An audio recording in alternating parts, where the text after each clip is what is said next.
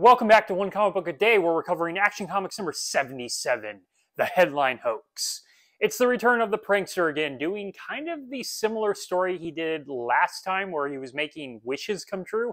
This time he overhears a rich man. This rich man wants to own two separate companies, a shipping company and a steel factory.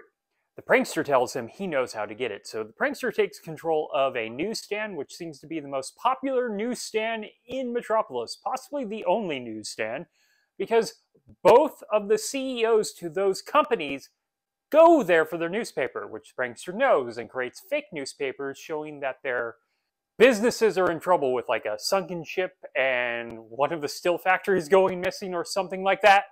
So they're very eager to sell. And it just so happens the rich man's nearby to buy the companies. The prankster also uses this ability to make a jewel thief he knows think the police are on him, so he immediately goes to go see his jewels so the prankster can steal them. Why is this coming up? Well, they have to have a reason for the prankster, a guy who is broken out of prison and is on the run right now, to be thrown into jail when he gets captured. He didn't need a reason. Clark gets wind of this when all the articles are under his name, so these guys, once they find out that the stories aren't true, blame Clark. So, so Clark looks into this. This doesn't take very long for him to figure out that it's the prankster. So he has an idea. Superman goes to those two men.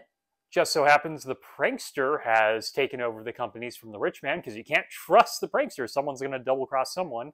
But before he can sell the companies back for a fortune, Superman actually accomplishes what those fake stories do by destroying one of the ships, which I guess would be a bad thing, Superman, and kidnapping a bunch of steelworkers in a factory and putting them in the middle of nowhere. I don't know what's wrong with Superman right now. He's doing really bad stuff for really stupid reasons. so now the prankster wants to sell very quickly because the companies are not worth what they were. They don't want the businesses anymore, but they do want jewels. He can't be this stupid. So when he comes to bring over the jewels, Superman apprehends him and sends him to jail for, you know, stealing those jewels. Except he was already on the run. He didn't there was no reason for this extra bit of plot. So yeah, it's the prankster going through his new old sort of story that's at least, I guess, a little more interesting than the last ones.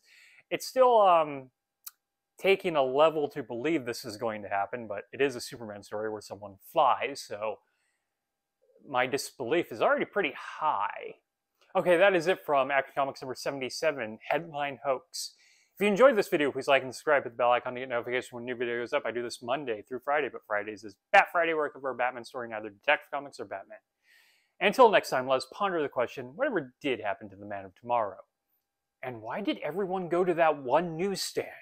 I feel like this is important. Okay, have a great day.